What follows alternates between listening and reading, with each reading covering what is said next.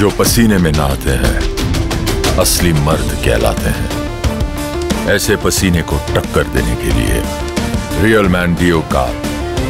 जिद्दी परफ्यूम